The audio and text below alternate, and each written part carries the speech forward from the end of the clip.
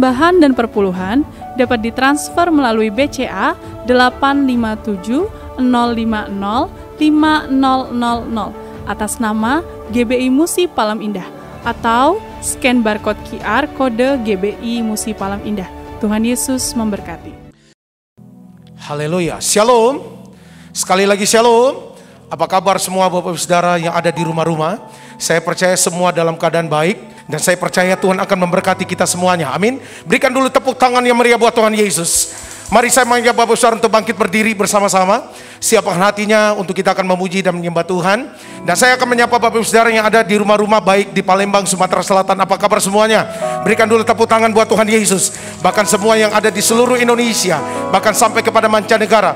Mari buka kedua tangan kita. Siapkan hatinya untuk kita akan memuji dan menyembah Tuhan. Kami bersyukur ya Tuhan Yesus. Kami percaya Engkau memberkati umat-umatmu hari ini yang beribadah secara online. Engkau urapi kami semua ya Tuhan. Penuhi kami dengan kasih-Mu. Terima kasih Roh Kudus tuntun kami. Dari awal ibadah ini sampai kepada akhirnya.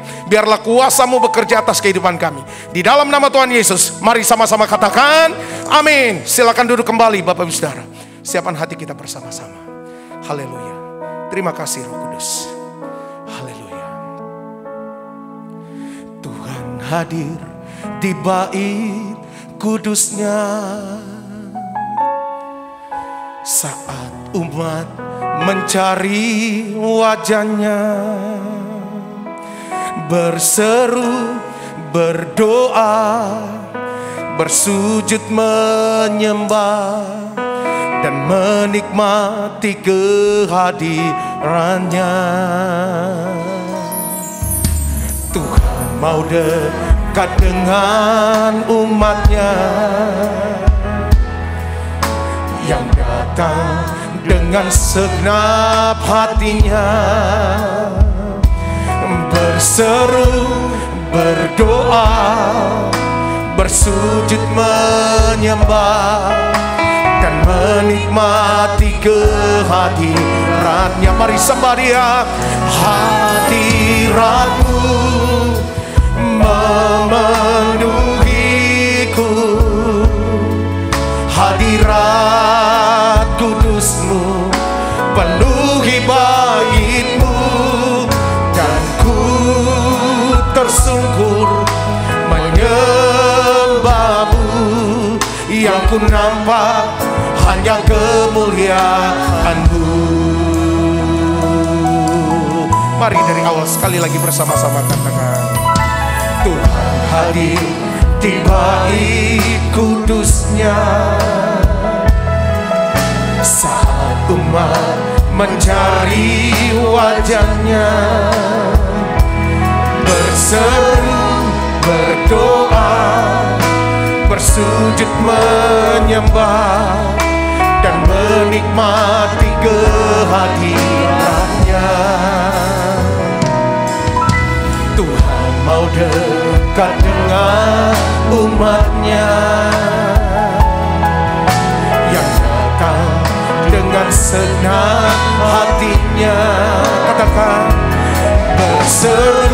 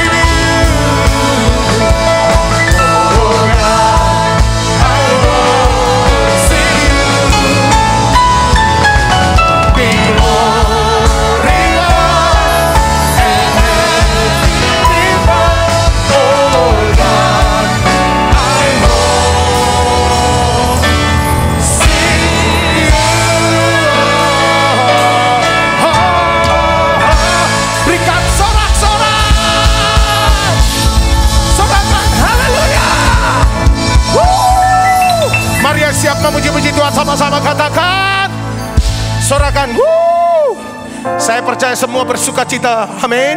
Berikan dulu tepuk tangan buat Allah kita yang luar biasa Bapak Ibu yang di rumah-rumah. Dengan Tuhan kita dapat melakukan perkara-perkara yang luar biasa. Amin. Haleluya.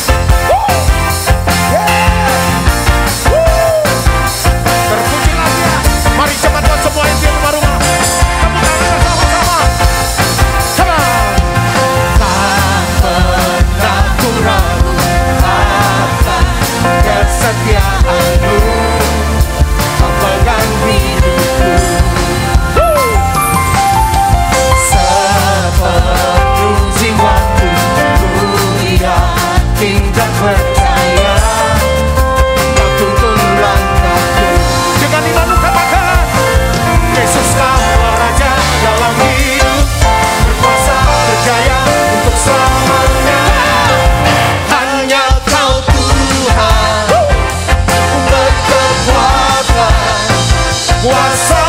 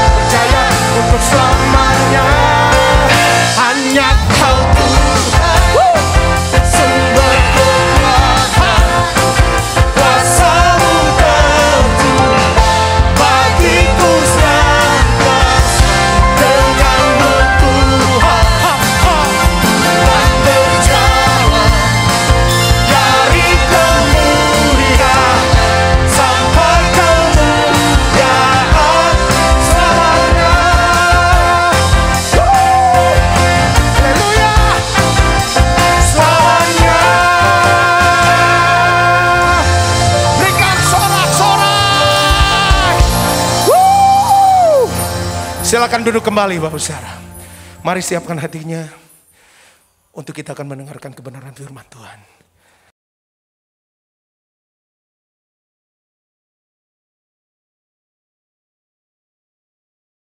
Shalom semuanya. Tanggal 4 September 2021, gereja kita GBI Jalan Jenderal Gatot Subroto genap berumur 33 tahun. Saya mengucapkan selamat hari ulang tahun yang ke-33. Tuhan Yesus berkati kita semua berlimpah, limpah, limpah. Amin. Pesan Tuhan untuk memasuki tahun yang ke-34 terdapat dalam Kolose 3 ayat 1 sampai dengan 4. Demikian bunyinya. Karena itu, kalau kamu dibangkitkan bersama dengan Kristus, carilah perkara yang di atas, di mana Kristus ada, duduk di sebelah kanan Allah. Pikirkanlah perkara yang di atas, bukan yang di bumi. Sebab kamu telah mati dan hidupmu tersembunyi bersama dengan Kristus di dalam Allah. Apabila Kristus yang adalah hidup kita menyatakan diri kelak, kamu pun akan menyatakan diri bersama dengan dia di dalam kemuliaan. Kita harus mencari dan memikirkan perkara-perkara di atas, bukan yang di bumi. Supaya pada waktu Tuhan Yesus menyatakan diri kelak, artinya pada waktu Tuhan Yesus datang untuk menjemput gerejanya, kita juga akan menyatakan diri bersama dengan Tuhan Yesus di dalam kemuliaannya. Yang artinya kita juga akan ikut dalam pengangkatan dan akan masuk sorga. Memikirkan dan mencari perkara yang di atas, artinya kita harus menilai, mempertimbangkan, dan memikirkan segala sesuatu dari sudut pandangan kekekalan dan sorga. Memikirkan dan mencari perkara yang di atas, artinya kita harus berpikir dan bertindak sesuai dengan pikiran dan tindakan Kristus. Ini kita lakukan karena kita ada bersama dengan Kristus. Kita akan terus melakukan dengan setia karena Kristus adalah hidup kita sampai kita bertemu dengan Dia dalam kemuliaannya, yaitu pada waktu Dia datang kembali untuk menjemput gerejanya. Perkara yang di bumi dapat berbicara tentang hidup yang duniawi, yang dinyatakan dalam rupa perintah, peraturan, dan ajaran yang tidak membawa seseorang kepada pengenalan akan Kristus. Perkara yang di bumi juga bisa diartikan segala sesuatu yang berada dalam pikiran, perkataan, perbuatan yang merupakan sifat manusia lama, sehingga bertentangan dengan kehendak Allah supaya kita bisa memikirkan dan mencari perkara yang di atas, maka kita harus mempunyai hubungan yang intim dengan Tuhan. Hati kita harus melekat kepada Tuhan. Banyak berdoa, memuji dan menyembah Tuhan. Kita harus memiliki kasih yang semula. Kita harus melakukan kehendak Bapa di sorga. Kita harus hidup berintegritas Sekali lagi, saya akan mengingatkan kita semua bahwa dalam menghadapi masalah apa pun juga, kita harus tetap meresponi dengan memikirkan dan mencari perkara yang di atas, bukan dengan perkara yang di bumi. Yang ku mau hanya menyenangkanmu, biarlah seluruh hidupku berkenan kepadamu. Bukan emas, perak bahkan permata Namun kau segalanya yang terbaik di dalam hidupku Haleluya Terpujilah Tuhan Haleluya kekal selamanya. Haleluya. Tuhan Allah Maha Kuasa. Allah Maha Kuasa. Allah Maha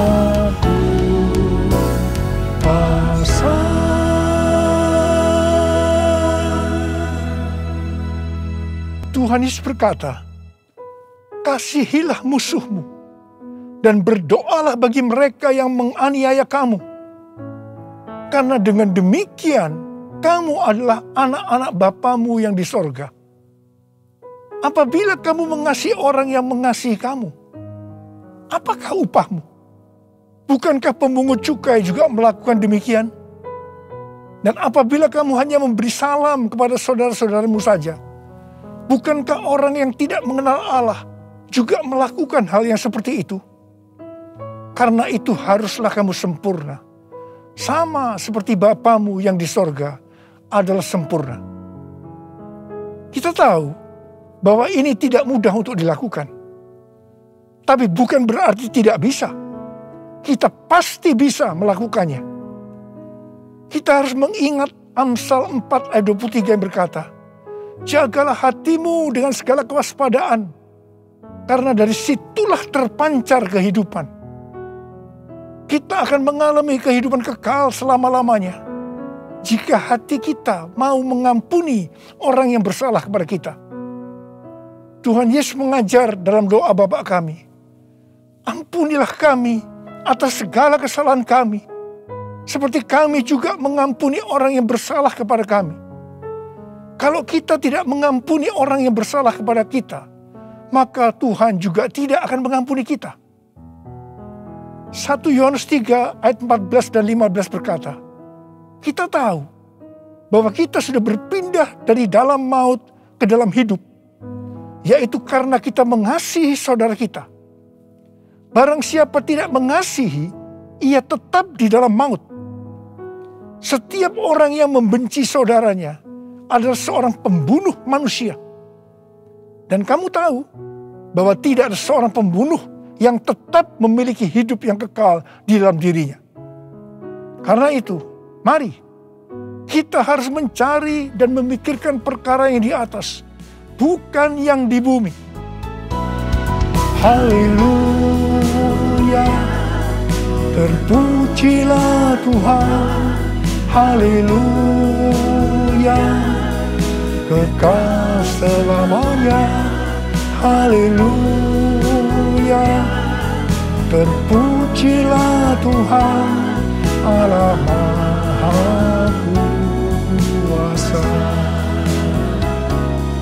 Allah Maha Kuasa. Allah Maha Kuasa. Mazmur 15 ayat 1 berkata, Tuhan, siapa yang boleh menumpang dalam kemahmu? Siapa yang boleh diam di gunungmu yang kudus? Salah satu syaratnya terdapat dalam Mazmur 15 ayat 4c, yaitu mereka yang berpegang pada sumpah walaupun rugi. Tuhan Yesus berkata, kalau ya, katakan ya. Kalau tidak, katakan tidak.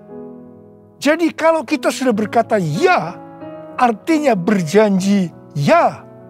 Apa pun yang akan terjadi, kita harus tetap ya, walaupun rugi. Terus terang saya banyak melihat orang-orang yang sudah berkata ya, tetapi begitu akan merugi, kadang-kadang seperti lupa kalau pernah berkata ya dan mencari seribu satu alasan bagaimana untuk ya berubah menjadi tidak. Meskipun harus lewat proses hukum. Ini yang disebutkan perkara yang di bumi. Bukan perkara yang di atas. Amsal 21 ayat 21 berkata, Siapa mengejar kebenaran dan kasih akan memperoleh kehidupan, kebenaran, dan kehormatan. Karena itu, jadilah orang yang berintegritas, orang yang hidup tulus, jujur di hadapan Tuhan.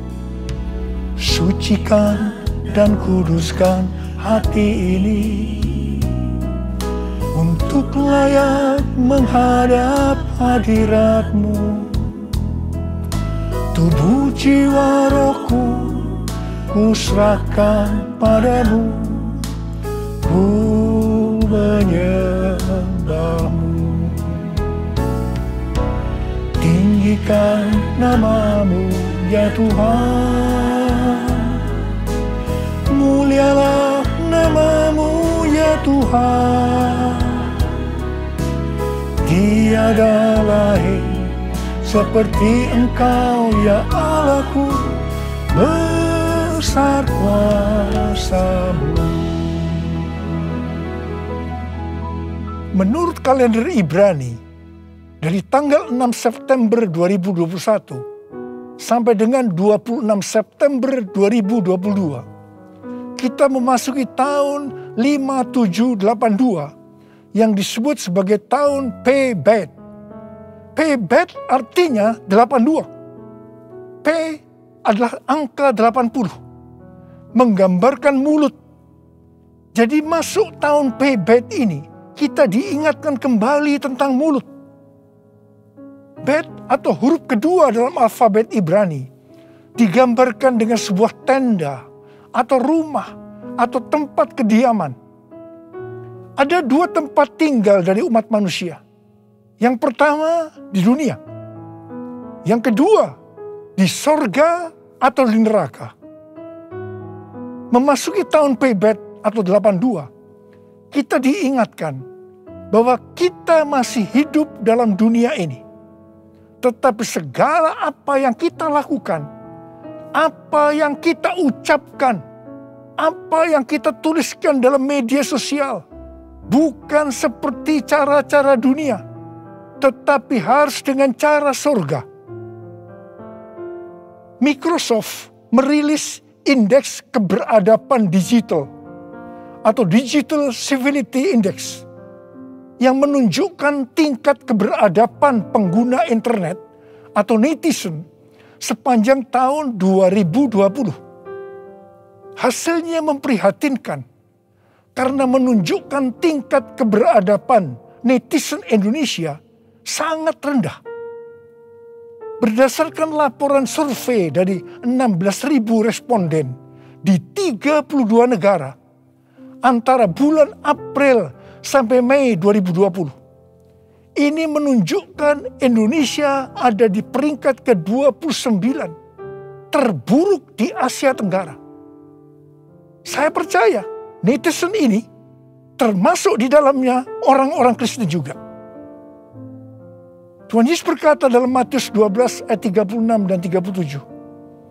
Tetapi aku berkata kepadamu, setiap kata sia-sia yang diucapkan orang harus dipertanggungjawabkannya pada hari penghakiman.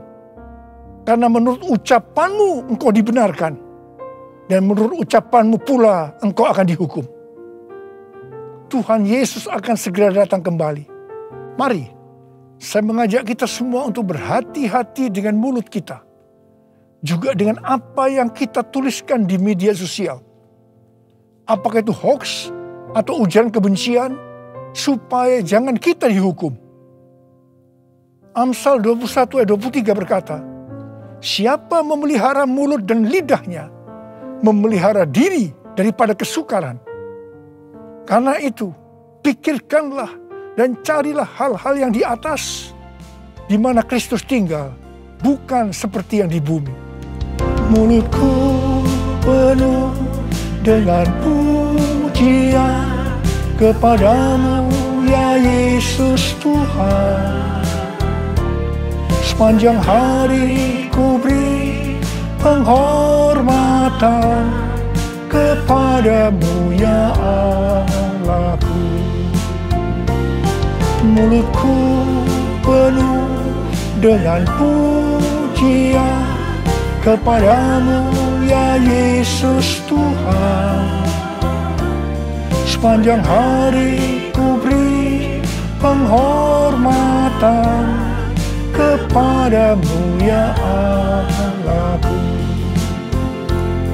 Sepanjang hari ku beri penghormatan kepadamu ya Allahku. 1 Korintus 6 ayat 19 berkata, atau tidak tahukah kamu bahwa tubuhmu adalah bait roh kudus yang diam di dalam kamu. Roh kudus yang kamu peroleh dari Allah. Dan bahwa kamu bukan milik kamu sendiri. Roma 14 ayat 8 berkata, Sebab jika kita hidup, kita hidup untuk Tuhan. Dan jika kita mati, kita mati untuk Tuhan. Jadi baik hidup atau mati, kita adalah milik Tuhan. Kita yang sudah dimeteraikan oleh roh kudus adalah milik Tuhan. Jadi kita hidup untuk Tuhan. Kita mati untuk Tuhan. Tuhan menghendaki agar kita menjadi serupa dengan gambarnya. Jadi dia harus makin besar dan kita harus semakin kecil. Biarlah orang melihat Kristus yang ada di dalam kita. Ada seorang hamba Tuhan dari Inggris yang bernama Smith Wigglesworth. Dia dikenal sebagai Rasul Iman. Dia dipakai oleh Tuhan dalam mujizat dan kesembuhan secara luar biasa. Dia tetap melayani Tuhan sampai akhir hidupnya. Pada waktu dia berumur 87 tahun. Tuhan pernah berkata kepadanya, Wigglesworth, aku akan membakar engkau sampai habis. Sampai tidak ada lagi Wigglesworth, hanya Yesus. Wigglesworth berdoa, ya Tuhan, lakukan itu. Saya tidak mau orang melihat saya lagi. Hanya Yesus. Menjadi seorang hamba Tuhan harus seperti ini. Juga harus seperti Yohanes Pembaptis yang berkata, ia harus makin besar, tetapi aku harus makin kecil. Karena itu hari-hari ini kita melihat baptisan api sedang turun. Membakar habis keakuan kita, kedagingan kita. Sehingga kita akan semakin kecil. Ia semakin besar. Waktu sebelum pandemi COVID-19, saya melihat perlombaan gereja-gereja untuk menjadi yang paling besar, paling terkenal. Dan kita melihat bahwa perlombaan itu sudah dihentikan oleh Tuhan sejak kita memasuki pandemi. Tetapi di tengah-tengah pandemi ini muncul satu fenomena baru, yaitu terjadi perlombaan untuk mencari views dengan bermacam-macam motivasi dan kepentingan. Saya percaya ketika ditanya, jawabnya pasti ini untuk kemuliaan Tuhan. Bukan rahasia lagi. Kalau seseorang mempunyai jumlah views yang banyak, pasti akan terkenal, mendapat pujian, untuk kebanggaan, kalau kita dipakai oleh Tuhan, atau kepentingan bisnis, atau mungkin juga ada hal-hal yang lain. Tidak heran kalau views menjadi tolok ukur suatu prestasi di zaman digital ini. Sehingga banyak orang yang berlomba-lomba menggunakan segala cara dunia untuk mendapatkan hal tersebut. Seperti beli followers, beli like, atau bahkan memaksa orang menonton konten kita. Saya berdoa supaya bukan karena views kita membuat konten, tetapi karena ada kuasa daripada Tuhan yang menggerakkan kita. Sehingga ketika orang menonton konten yang kita buat, di situ ada aliran kehidupan yang mengisi mereka yang menonton. Hari-hari ini Tuhan mengingatkan kepada kita sebagai hamba Tuhan agar berhati-hati. Kalau kita ingat bagaimana cara perlombaan gereja sebelum masa pandemi itu dihentikan oleh Tuhan, maka kita harus berhati-hati agar kita tidak mengulangi kesalahan yang sama. Saya mengajak agar kita introspeksi, memeriksa diri kita. Saya bertanya, kalau kita melihat views kita banyak, apakah kita benar-benar berkata, ini adalah untuk kemuliaan Tuhan? Atau kita berbangga hati karena ini dianggap ukuran Tuhan memakai kita? Tuhan Yesus mengingatkan kita dalam Lukas 6 ayat 26. Celakalah kamu jika semua orang memuji kamu. Karena secara demikian juga nenek moyang mereka telah memperlakukan nabi-nabi palsu. Tuhan Yesus mengingatkan kepada kita, kalau seseorang selalu ingin dipuji-puji, itu adalah nabi palsu. Tuhan mengingatkan kepada kita bahwa kita harus semakin kecil, dia semakin besar. Kita harus semakin menjadi seperti gambarnya. Karena itu, Tuhan hari-hari menurunkan baptisan api, di mana itu akan membakar atau menghancurkan keakuan kita. Menjadi seperti kau Yesus, menjadi seperti kau Yesus, menjadi sempurna dalam seluruh hidupku. Menjadi seperti kau Yesus. Menjadi seperti kau Yesus. Menjadi sempurna dalam seluruh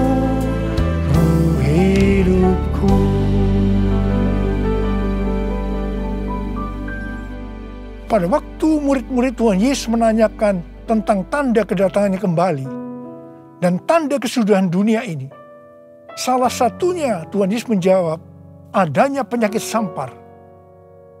Pandemi COVID-19 ini bisa disebutkan sebagai penyakit sampar, sehingga pandemi ini merupakan salah satu tanda dari kedatangan Tuhan Yesus untuk kali yang kedua.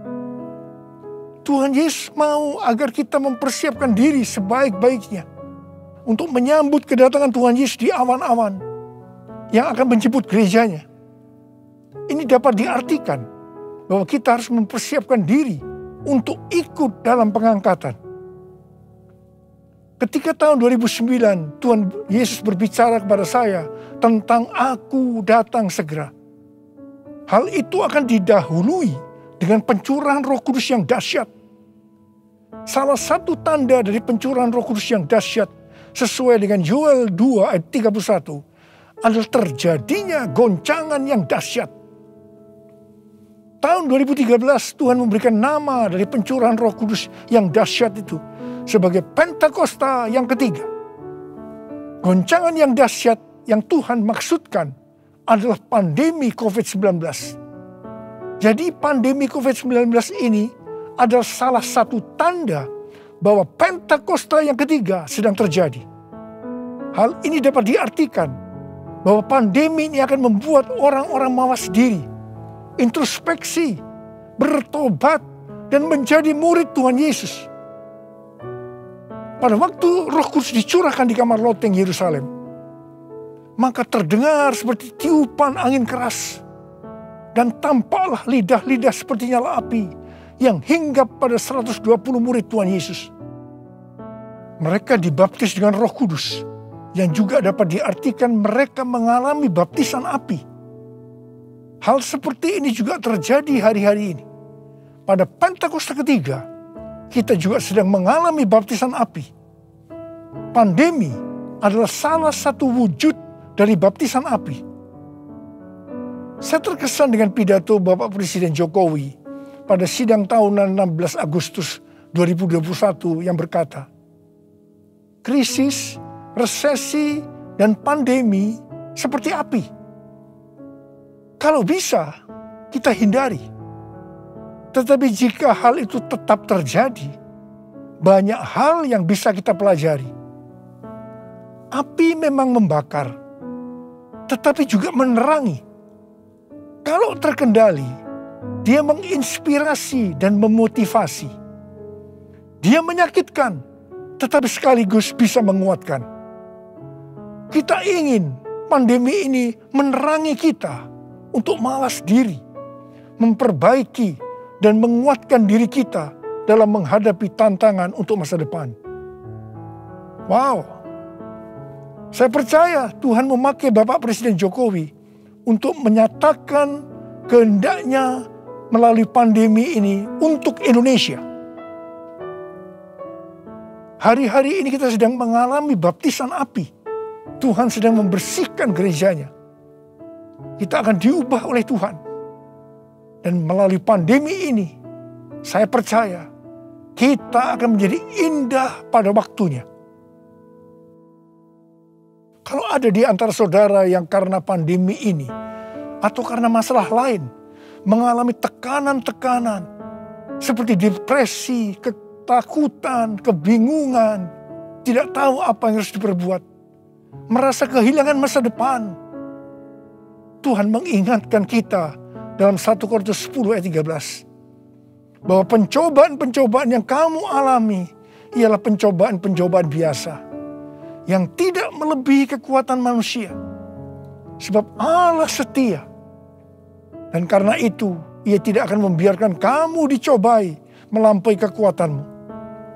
Pada waktu kamu dicobai, ia akan memberikan kepadamu jalan keluar sehingga kamu dapat menanggungnya. Tuhan Yesus itu baik. Dia sungguh baik dan sangat baik kepada kita semua. Tuhan Yesus merindukan pada saat dia datang di awan-awan untuk menjemput gerejanya. Kita akan ikut dalam pengangkatan dan masuk sorga. Karena kita memikirkan dan mencari perkara-perkara yang di atas. Di mana Kristus ada, duduk di sebelah kanan Allah Bapa. Holy, holy, are you Lord God Almighty? Worthy is the Lamb, worthy is the Lamb. You are holy, holy. Are you Lord God Almighty? Worthy is the Lamb, worthy is the Lamb. Amin. Mari kita angkat tangan kita. Berbahasa roh, saudara. Urana masyarana bala bala bala. Kita berbahasa roh. Huriana la bala bala bala bala bala bala bala. Oh, la la la la. Oh Tuhan, ya Tuhan, ya Tuhan. Ya Tuhan, ya Tuhan, ya Tuhan, ya Tuhan. Oh, la la la ba ya la la ba ya la la ba. Ya Abba, ya Abba, ya Abba, ya Abba, ya Abba. Engkau melihat anak-anakmu ya Tuhan. Engkau sudah berbicara kepada kami semua. Karena kami harus mencari, memikirkan perkara-perkara yang di atas, bukan yang di bumi. Tuhan, mampukan kami, mampukan kami ya Tuhan, Kau tolong kami semua. Oh Rabbah, kami mau Tuhan, kami mau, kami mau ya Tuhan. Engkau melihat anak-anakmu yang saat ini mungkin sedang mengalami tekanan-tekanan karena pandemi, karena yang hal-hal yang lain. Engkau tolong mereka, Engkau menyembuhkan yang sakit, sembuh dalam nama Yesus, sembuh dalam nama Yesus, sembuh, sembuh, sembuh. Oh Rabbah, Rabbah, Rabbah. Oh Rabbah, holy, holy. Are you Lord God Almighty? Worthy is the Lamb, worthy is the Lamb.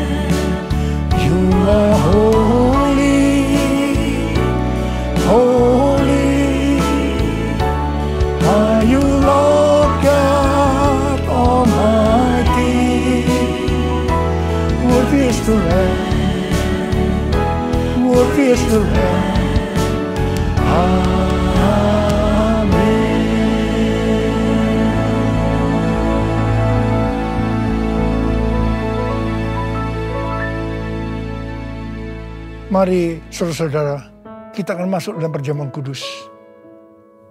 Kita akan mengingat ayat ini. Sebab setiap kali kamu makan roti ini dan minum cawan ini, kamu memberitakan kematian Tuhan sampai ia datang. Perjamuan kudus adalah perjamuan Tuhan Yesus sendiri. Setiap kali kita masuk dalam perjamuan kudus, Tuhan Yesus selalu berkata, biarlah ini menjadi peringatan akan daku. Biarlah ini menjadi peringatan akan daku. Mari arahkan hati kita kepada kebaikan Tuhan. Supaya kita lebih mengasihi Tuhan Yesus. Supaya kita lebih mengasihi satu dengan yang lain. Mari tundukkan kepala. Bapa, siapakah kami sebelum kami mengenal Engkau? Kami semua orang berdosa. Upah dosa adalah maut, mati. Tetapi Engkau yang tidak berdosa telah dijadikan dosa oleh karena kami. Engkau harus turun dari sorga mulia, menjelma menjadi manusia, mati ganti kami dengan penderitaan yang luar biasa. Sungguh betapa baiknya Engkau Abah.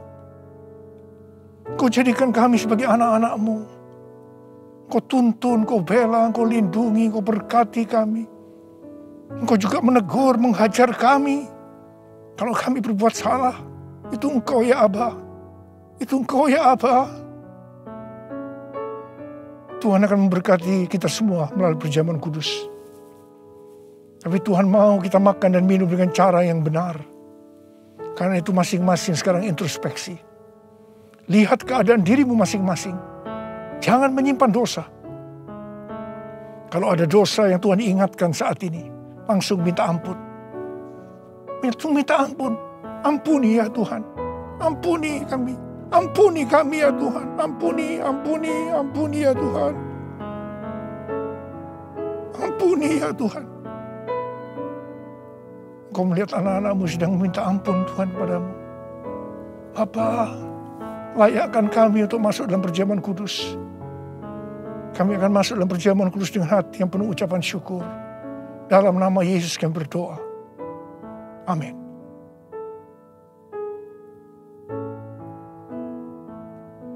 Sebab apa yang telah kuteruskan kepadamu, telah aku terima dari Tuhan yaitu bahwa Tuhan Yesus pada malam waktu ia diserahkan mengambil roti. Angkat roti di tangan kanan kita tinggi-tinggi.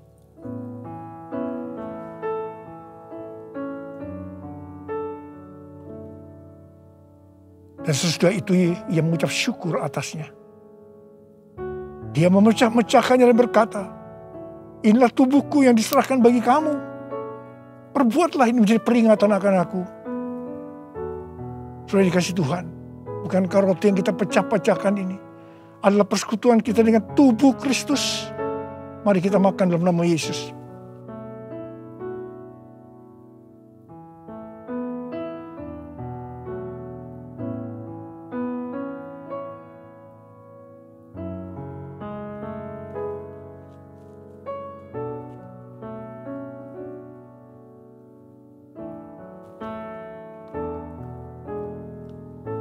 Angkat cawan di tangan kanan kita tinggi-tinggi. Demikian juga ia mengambil cawan sesudah makan lalu berkata, Cawan ini adalah perjanjian baru yang dimeterkan oleh darahku. Perbuatlah ini. Setiap kali kamu meminumnya, menjadi peringatan akan aku. Sudah dikasih Tuhan. Bukan kacauan pengucapan syukur.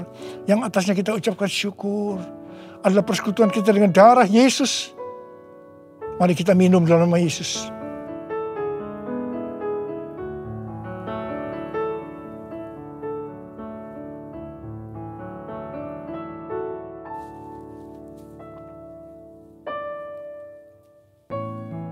Mari angkat tangan kita, ucapkan syukur dengan suara.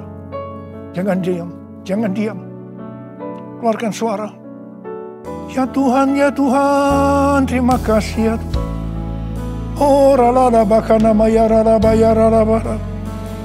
Oh rala baya rala baya rala baya rala Tuhan terima kasih. Terima kasih ya Tuhan kau baik buat kami. Terima kasih kau yang baik. Kau baik ya Tuhan. Terima kasih ya Tuhan. Oh rala. Terima kasih Yesusku. Terima kasih Yesusku. Puji syukur hanya bagi Tuhanku. Terima kasih Yesusku. Terima kasih Yesusku. Puji syukur hanya bagi Tuhanku. Terima kasih ya Tuhan. Terima kasih Yesusku kasih Yesusku. Puji syukur hanya bagi Tuhanku. Terima kasih Yesusku. Terima kasih Yesusku. Puji syukur hanya bagi Tuhanku. Puji syukur hanya bagi Tuhanku puji syukur hanya bagi Tuhanku.